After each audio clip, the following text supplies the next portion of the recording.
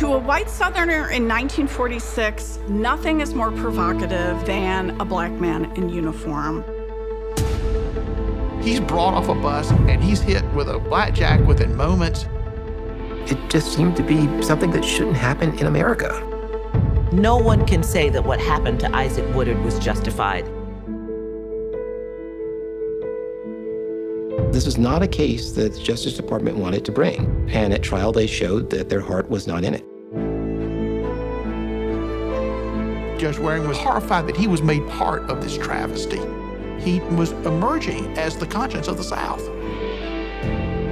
Woodard's blinding just seemed to encapsulate other cases of violence against African Americans. They thought it was perfectly normal for a Southern sheriff to get away with blinding a black man. The idea that a war veteran could be attacked and beaten by law enforcement officers surprised Truman and enraged him. And then he turns to his staff and says, My God, we have got to do something. Thurgood Marshall and his legal team are becoming very effective at chipping away at the segregation status quo. He was threatened constantly. His life was always in danger. During a trial, they would have to move him around from house to house.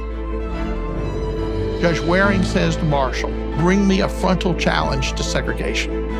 Marshall's office had files from floor to ceiling of these cases. They're playing for the U.S. Supreme Court. They're building a record for the U.S. Supreme Court. The Supreme Court has rendered a momentous historic decision.